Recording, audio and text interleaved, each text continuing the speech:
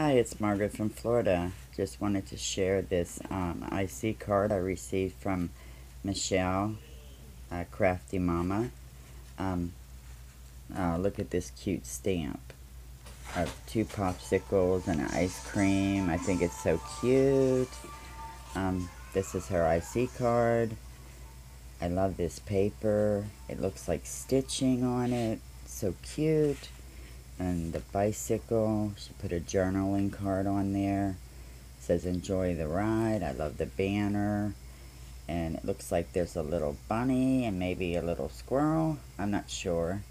But they're in the basket. I love the bicycle. It's so cute. And then she put a heart on this side and one on this side. And I just think that is so cute. Thank you, Michele. I'm so glad I got an IC card from you and let's read the back of it.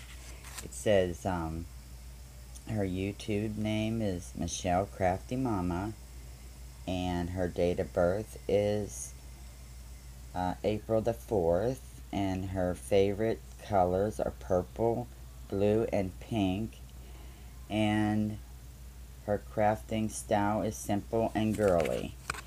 Well, we know it's simple and girly this is so cute, Michele. I love it. I just love this paper you put on. It looks like stitching. And you can actually feel it in the card. Feels like stitching too. So thank you, Michele.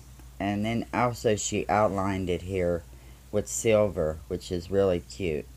The whole card is outlined. So thank you, Michele. I really appreciated it. Okay, I'll be back. I have more, um, more videos to put up. Okay, thank you for watching. Bye.